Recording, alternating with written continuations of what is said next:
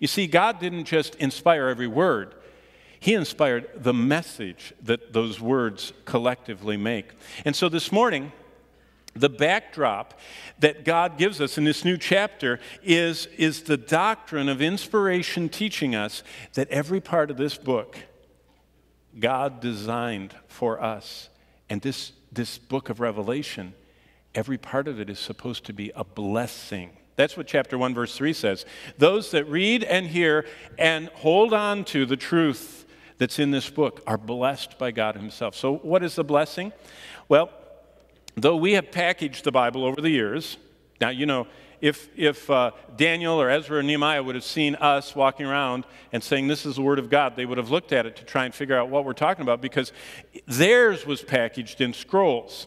And they would have wondered what this little flat thing, and especially, you know, you get one with pictures and lights and everything else, you know, they would have really wondered about that. But though we have packaged the Bible over the years, translating the original Hebrew and Greek into our language, putting covers on, in the 12th century, the Bishop of Archbishop of Canterbury added the chapter divisions. By the time we get to the 16th century, a printer in Geneva, fleeing to Geneva, put in the verse divisions. Although all of those have been added in the packaging, the content is from God. That, that's what the doctrine of inspiration is. That God sent every word of this book to us. And that is an amazing blessing. So think about it. Though the horrors that we read about in chapter 6 were all placed in chapter 6 by God. It's not like uh, that John got this big box, kind of cosmic scrapbooking, you know, that he could just go through and arrange everything and put it anywhere he wanted and, and kind of make this kind of scrapbook for us of everything God's going to do. No, God took him on a divinely guided tour. And God showed him exactly in order what he wanted us to know, to be blessed. And so, the loss of life. If, if you read chapter 6, you remember when we covered it, more people die in chapter 6 than have ever died in any event in human history. Now, the flood of Noah, which killed everybody but eight people, you know, the, the people that study uh, human population growth they've factored in the size of family, the length of life, and childbearing years that are reflected in Genesis uh, chapter 6 through 8 and prior. And there could have been as many as 1 billion people that died in the flood of Noah. But that's nothing compared to the almost 2 that will die in chapter 6. So, this is the greatest extinction level event, the greatest single largest loss of human life ever recorded.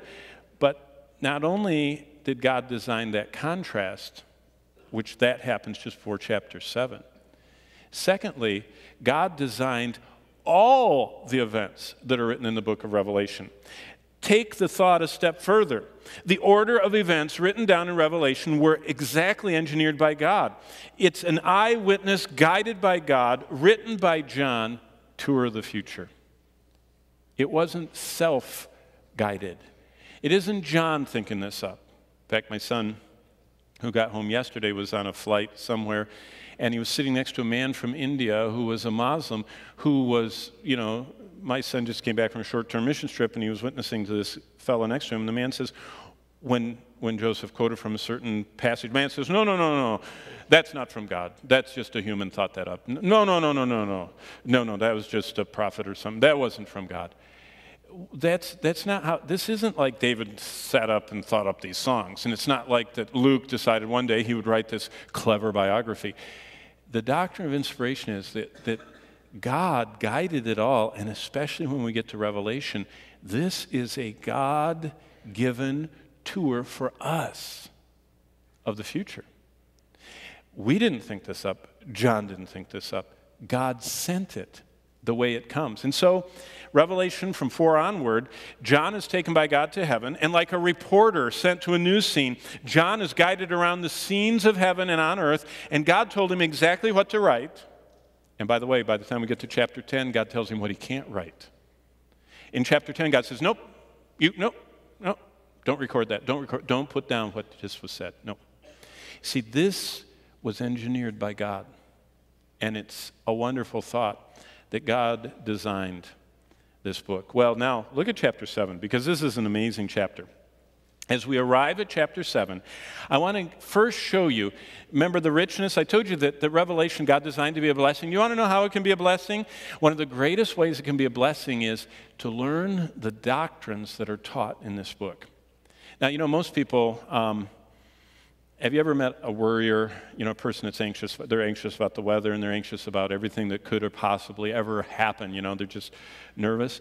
Do you know when you meet a person that's anxious and worry, kind of a worry wart. Do you know what you've met? Someone that's a good meditator. They can really meditate. They think deeply. They just think deeply on the wrong stuff. You know, it, it's, they're, they're thinking about all the problems and all the potential disasters and everything that, you know, probably could happen, and so they don't even want to go out of the house because it might happen. Did you know what God wants us to do? Not to meditate on all of our potential problems, but to meditate on his promises and the truths of his word, which are called doctrines. These are teachings from God. And when you when you take that mind that is so good at working through stuff, and instead of working on stuff that is worthless, that will never profit, worry and anxiety never does, start using that skill on truth, on doctrine. So, what are some doctrines? Let, let, me just take you through this, okay? We'll do a quick, this is the index of the chapter. Number one, first doctrine God's complete control of timing. That's the doctrine of omniscience. Remember, I told you that this whole book, Jesus tells John, I'm going to show you the things that are going to happen in the future, the things that are going to happen after this in the future. Now, wait a minute. Nobody predicts the future. Did you know none of the major world religions, the Quran, the Bhagavad Gita, the, none of the major books of religion have prophecy. It's the missing element in all the world religions except for the true and living God of the universe. He stakes his name. He says, I'm the Lord, and the way that you know I'm the Lord is I can tell you what's going to happen in the future. And the way I say is how it will happen. How come? Because God makes it happen. He watches over His word and He causes it to happen. So, the first thing is the doctrine of God's omniscience. He knows exactly what will happen forever, both past, both present, and future. God inhabits eternity and is the one that's unfurling the, the panorama of time because He's above it and He's the author of all that exists. So that's the first doctrine. Second one is, I mean, they get even more amazing. God's awesome power. The second part of verse 1 talks about God's awesome power over nature. That's the doctrine of his omnipotence. God holds absolute power. Did you know there's this huge engine of our meteorological, hydrological, the whole cycle of how water is in the ocean, evaporates, and it rises, and that whole rising causes weather disturbance, and then it comes up and it cools down, it condenses, and then it rains again. And that whole hydrological cycle with the atmospheric engine behind it is one of the single more powerful things on this planet. And God steps in at the end of verse 1 and goes, boop, stop, puts the pause button. It's impossible to stop that. There's so much energy, so much kinetic and static and every other form of, of amazing power.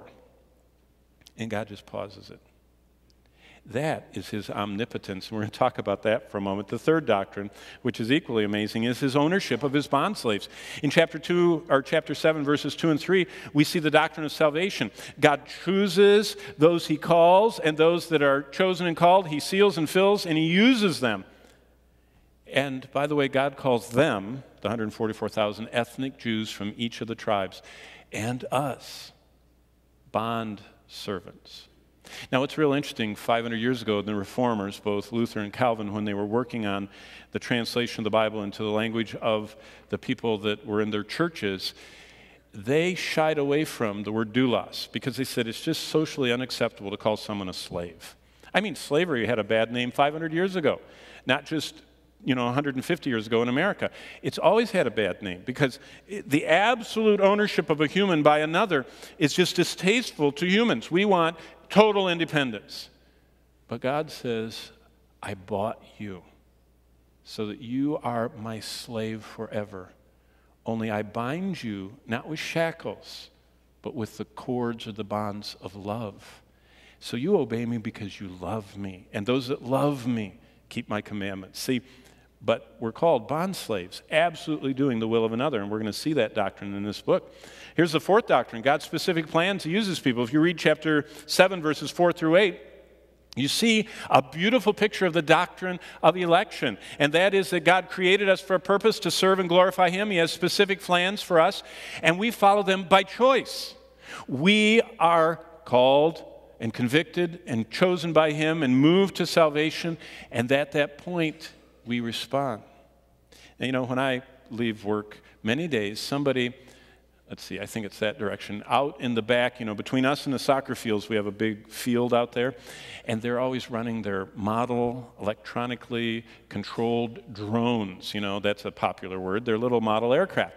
And boy, they're every time I see them, they get bigger. They have amazing, and they're doing all these touches and goes and twirly hoops and runarounds, you know, and they'll strafe the building, you know, and they do all kinds of stuff out there. But that little plane can't do anything but what the man with his trunk open with the little control box is doing. That is not what humans are like. We are not drones that just do whatever God wants us to do and we have no choice. The amazing thing is, Paul, you want to talk about God's power? Paul's riding up to Damascus. Jesus knocks him off his horse. He's laying with his face in the dust. Jesus says, What are you doing? You're persecuting me. And, and Paul looks up, blinded by the sight, sees Jesus Christ. And you know what he says about that? I was not disobedient to the heavenly vision. Do you know what he said? I responded. You see, we respond. God calls, God elects, God does all that He does. But we have a choice to respond. We are not drones. And these 144,000 choose because they love the Savior that purchased them to obey Him. Well, I'm just supposed to read these off. Look at the fifth one, uh, verses 9 and 10. God's love in action for lost sinners. Remember the great contrast? When the earth is at its darkest hour, God sends the, the most potent missionary evangelistic group ever to be on the planet. 144,000. And that's the doctrine of God as Savior. God loves, God seeks, and God saves lost sinners. And at the darkest, most horrific hour of human history, God sends these in. And it's amazing when we look at the details in a few moments of what they do. By the way, God identifies himself as God the Savior. In fact, if you read the book of Titus over and over, it's called God the Savior. God the Savior. God is a Savior. Yes, Jesus Christ is our Savior, but that's because He is God the Son, and God Himself is a Savior. That is a characteristic of His person. Well, the, the next doctrine we get is number six, and, and it's in verses 11 and 12, and it's the doctrine of God's desire for the worship of his people. That's the doctrine of God's glory. God seeks our worship. Remember, Jesus said that to the woman at the well in Samaria in John 4. The Father seeks our worship. He inhabits our worship. That means that the more worship we offer, it's, it's just like God is just, just wants to follow that cloud of fragrant offering, and he just, he just enjoys our worship. That's why He created us. And He wants everything we do as His bond slaves and everything we think and everything we say to rise up as glory. See, worshiping God is bringing Him glory, bringing Him the glory that is due Him as Creator and as immeasurable, infinite, Almighty One. And the last doctrine that's in this chapter. Didn't I tell you that this is one of the most amazing books in the Bible? This is like a compendium of the best of the best of the best. And this is just chapter 7, which is a kind of a boring chapter by a lot of people's standards. I mean, all this, you know, 12 tribes of this and that, it's just kind of boring. This is like the Comstock Lode of doctrine in the Bible. And the seventh one is God's eternal plans for those who he saves, who are his bond slaves.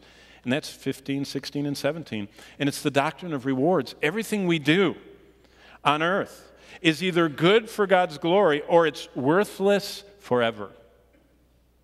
You know, I, I read all the time because I, I, have many friends in business, and they're always sending me, you know, the Harvard this review and the Wall Street that review and the Bloomberg this and whatever. And, you know, a lot of great principles. And, and, and I love it all and I read all that stuff. But I see this underlying, you know, you need to have this one and three and five and 10 and 20 year plan. And you really got to get set for when you're 50 and 55 and 60 and 65 and whatever. And, and, you know, those are all great. So they're kind of like plans for the next 50 or 70 years.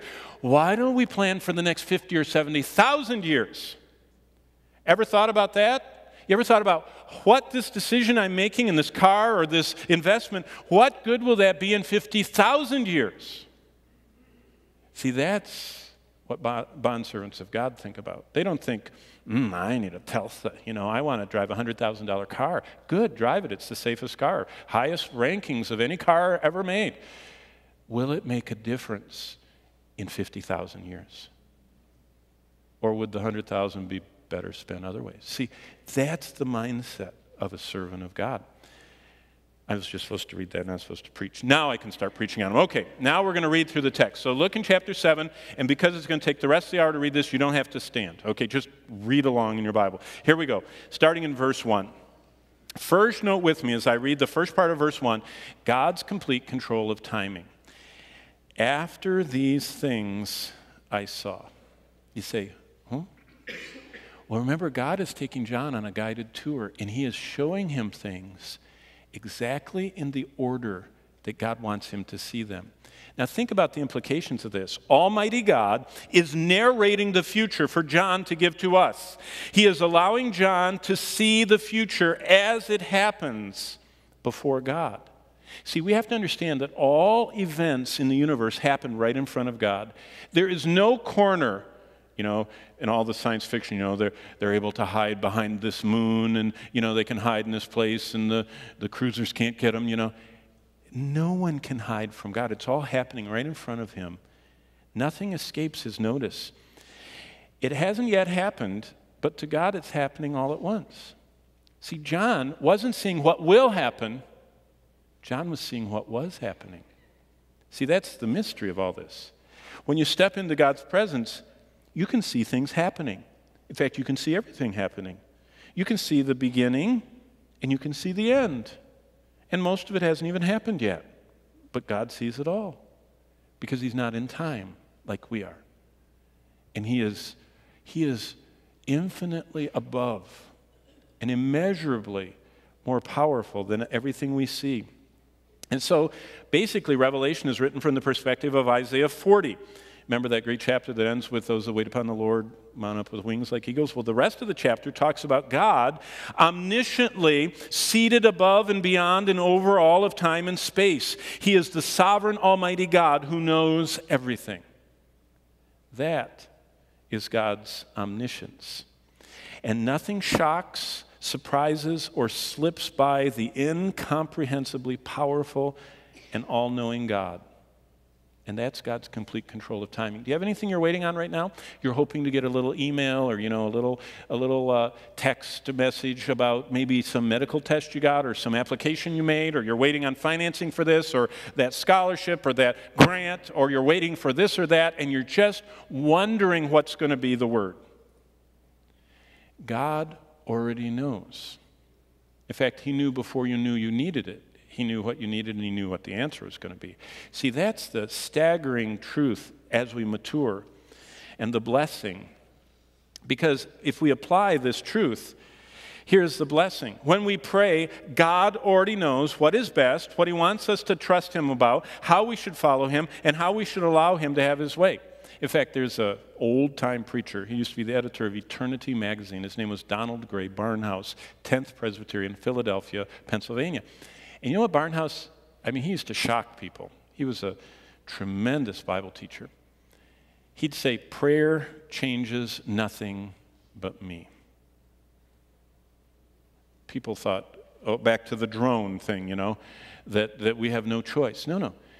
When I pray, I am seeking to get synced with and orchestrated and online and in tune with and, and in step with God who's doing everything perfectly, who knows everything perfectly. It's me who's imperfect, not God. This is not an infomercial when I pray, kind of catching him up. and getting him, you know, tuned up with my needs. No, no. He wants to tune me up with his plan, which he knew before my needs arose. See, that's, that's the, the amazing truth that Revelation teaches us. Now, let's go to the second half of verse 1. Look at what happens in verse 1.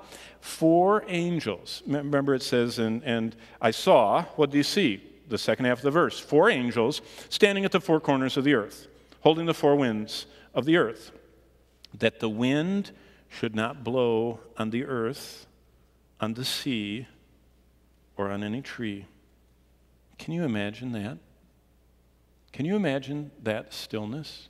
You couldn't because it's never happened. Since God began this globe at the rotational speed that it has, revolving around the sun, He set in motion the hydrological and the meteorological and the entire system that keeps this planet habitable. But He stopped, He pauses it. Did you know when we understand what's going on here, it should have the same effect it had on the disciples. Do you remember you read in chapter 14 of Matthew's gospel that Jesus, you know, fed the 5,000 and then the people wanted to make him king and so he sent away the crowds and then he sent his disciples, said, get in the boat, go the other side, I'll catch up with you, don't worry about me. And he sent them out, it says, before 6 p.m. So about 5:30 they get in the boat, start sailing, the crowds leave, happy and full. Jesus climbs up on the mountain and the disciples get just off from the shore, and a huge storm comes. At 6 p.m., the storm comes. At 3 a.m., Jesus, actually, it says after 3 a.m. How many hours from 6 to 3? Nine. For nine hours, Jesus is watching them. It says that the Sea of Galilee is boiling, kind of like jacuzzi, you know it says that the disciples, it's an interesting word, krazo, they're screaming. Kind of like when someone screams bloody murder. You know, they scream, they're scared to death, they're shrieking. The disciples all thought they were dying. They thought they were drowning. They thought the boat was sinking. They thought they were paddling for all they were worth and they were getting nowhere. And water, they were bailing. The ones who weren't paddling were bailing. And they were just screaming and crying. And Jesus watched that for nine hours. Screaming. I bet their blood pressure was high. You, you, understand what they're going through? This is trauma. And he was watching. And he was keeping them from sinking. And he was keeping the storm from tipping the boat over. He was keeping them from having a heart attack. You know what I mean? He was watching. But he didn't take away the storm until 3 a.m. And he walks up and he stops it. And it says that the water became just flat. You rarely see that, maybe early in the morning or right at dusk. It's just flat, like a mirror. And the wind stopped, but the water stopped too. And even that, to, to still the whole Sea of Galilee, that is 12 by 6 miles, 72 square miles of water, that's amazing. And you know what they did? They all just forgot about bailing the water and they just fell down. And they just said, Peter put in the words, he says, Oh, we shouldn't even be in your presence. Who is this that can still the air and the water? Well, that's what this chapter is about. Can you imagine? Jesus demonstrated his power as creator over nature, calming the, the sea, walking on the water, even the darkness at the cross. Nothing stands in his way. Nothing is greater than our God. He has awesome power over the things that we think are the most powerful, and he is more powerful than that. So, what's the lesson? Well, if he stills the storm in your life, praise him. If he doesn't still the storm in your life, for nine hours, they scared to death. Trust him. See, he just wanted them to grow in their awesome worship of who he was and their absolute dependence. They couldn't even get across the lake without him. And he wanted them to know it. And he wants us to know the same. But let's continue. Look at the third wonderful doctrine, starting in verse 2. This is God's amazing ownership. And it says, Then I saw another angel ascending from the east, having the seal of the living God. And he cried with a loud voice to the four angels to whom it was granted to harm the earth and the sea, saying, Do not harm the earth, the sea, or the trees until we have sealed the servants of our God on their foreheads. That should ring a bell. When you get to chapter 13, the Antichrist is sealing people on their foreheads and hands. And it doesn't matter if it's an implanted chip or it's a barcode or if it's a tattoo, it doesn't matter. The, the Bible isn't written for us to speculate and avoid getting it, you know. It was written to tell us God seals his own. Did you know this is not new? This is all the way through the Bible. When Israel was being destroyed by the Babylonians, think of special forces and think of an entire army of special forces. And that was King Nebuchadnezzar's army that was just conquering the world as fast as he could conquer it. And they surround and besiege Jerusalem and they made the perimeter so no one could come or go. And they ran out of water and ran out of food and they're dying of starvation. And finally, when they were too weak to even shoot an arrow, they knock the wall down. They come in and they start just killing randomly. Well, not randomly, systematically, just killing everybody inside the city. Do you know in Ezekiel, when that scene is happening, God says, Wait just a minute, I want to show you so you really know what I'm doing.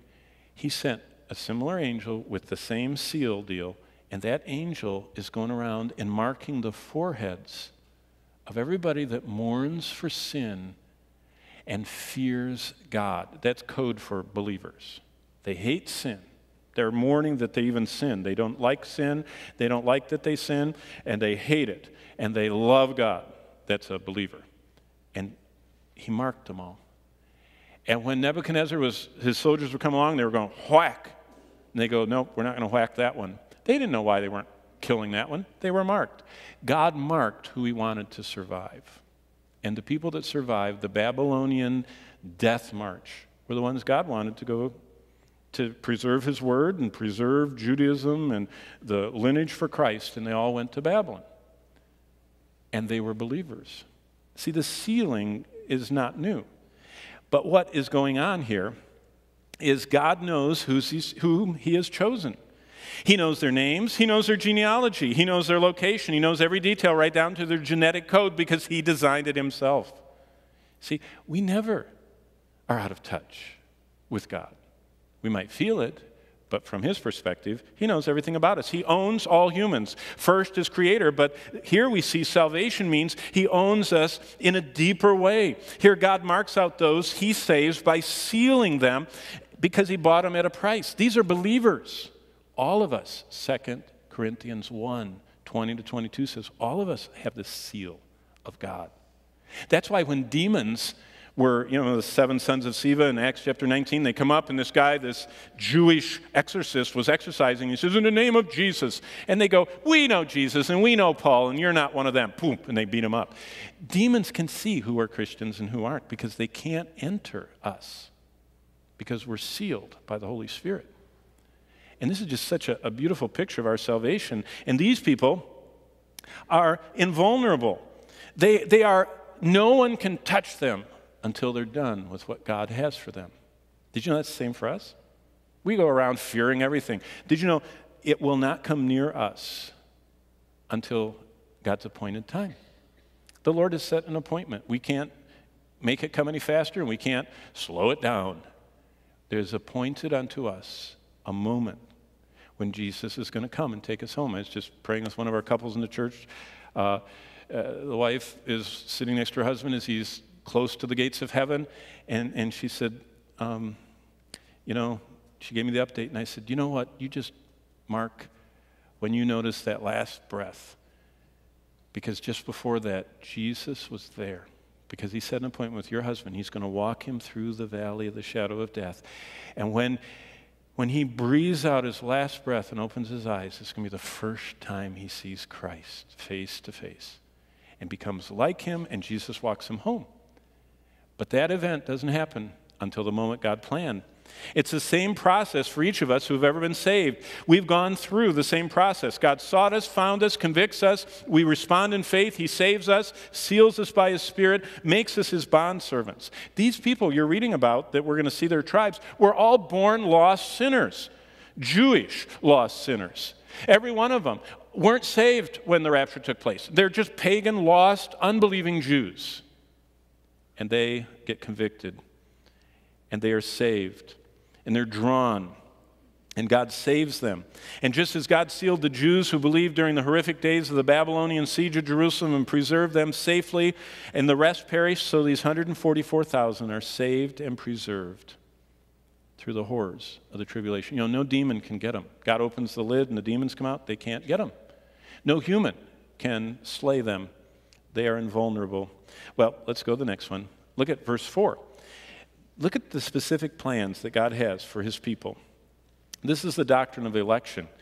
Verse 4 And I heard the number of those who were sealed 144,000 of all the tribes of the children of Israel were sealed. Did you know nobody knows what tribe they're in right now? But God does. He knows us right down to our DNA. He knows what descent they are.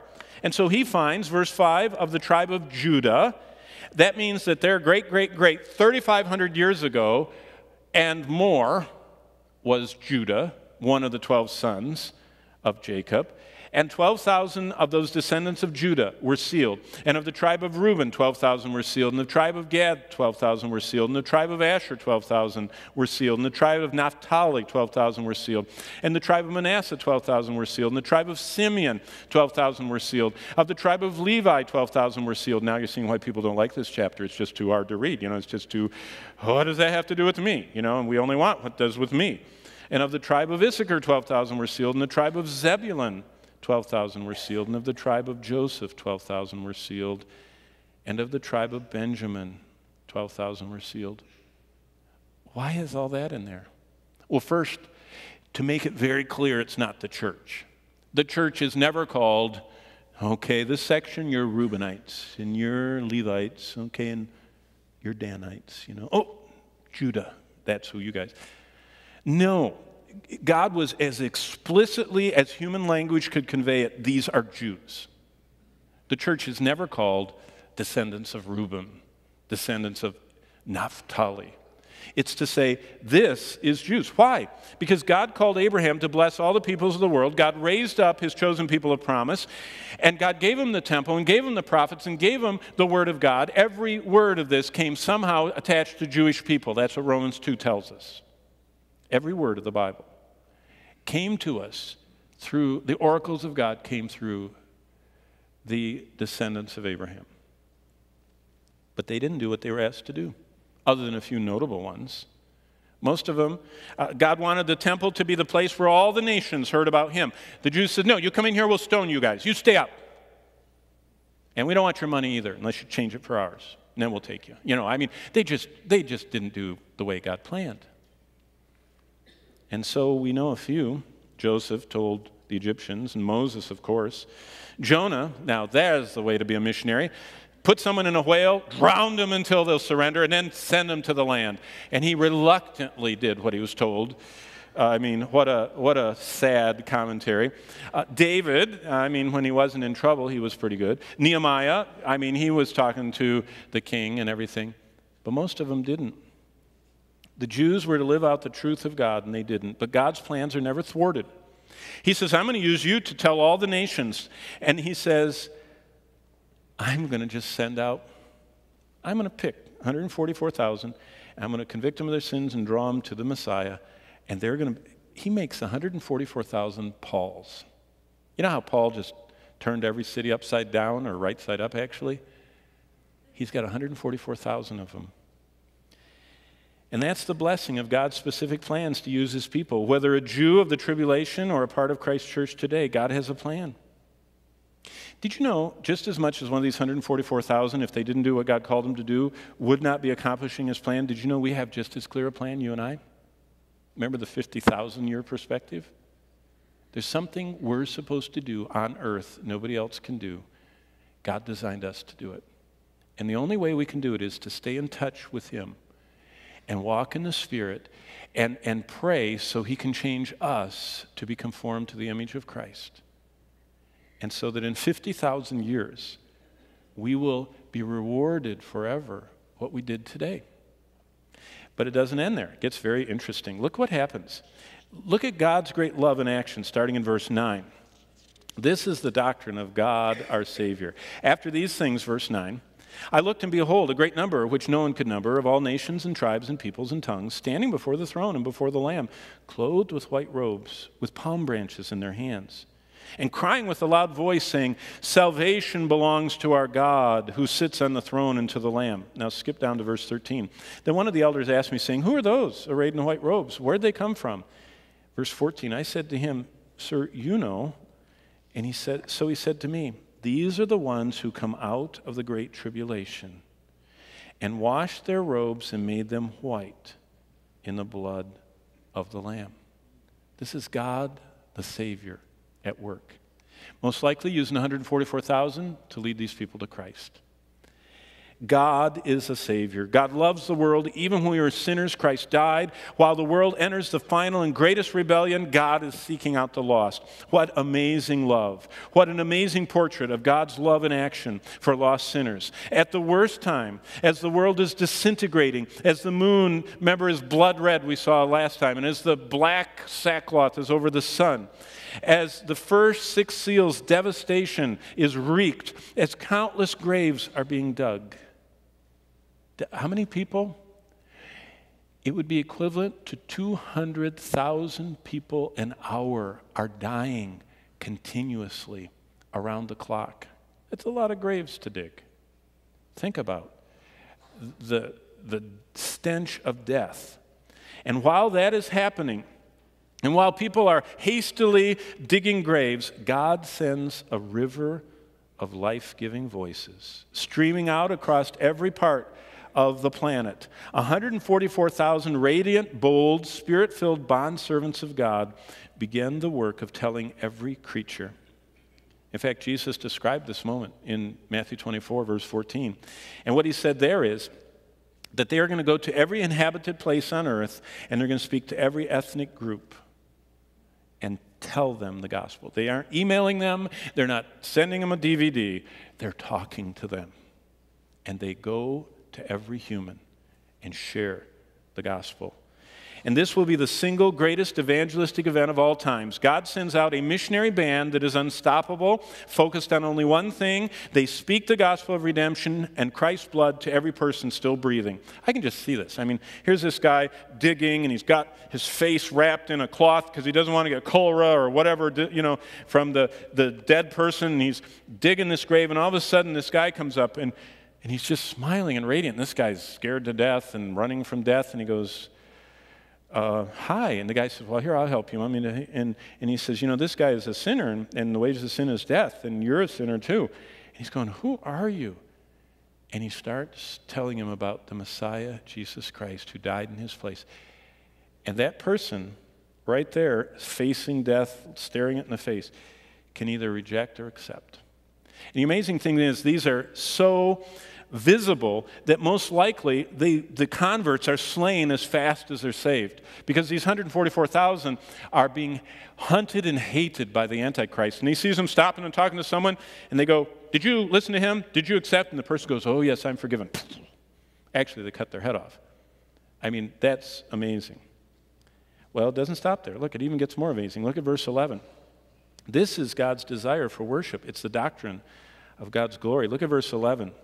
And all the angels stood around the throne, and the elders and the four living creatures, and fell on their faces before the throne and worshiped God, saying, Amen.